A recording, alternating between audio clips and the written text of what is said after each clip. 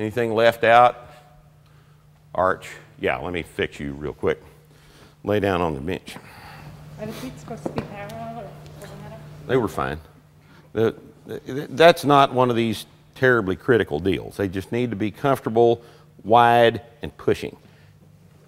I'm going to stick my hand under your low back. I want you to get arch up away from it like that. With your butt still on the ground, you want to produce a lordotic curve on the bench right here.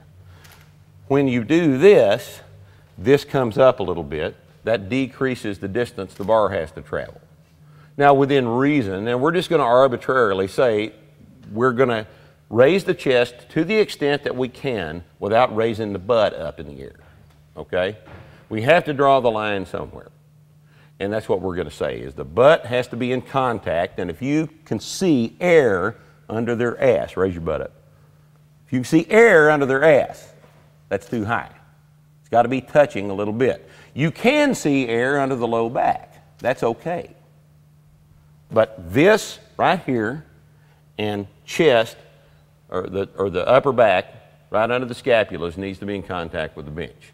This needs to be loaded in this direction. Okay? That's it.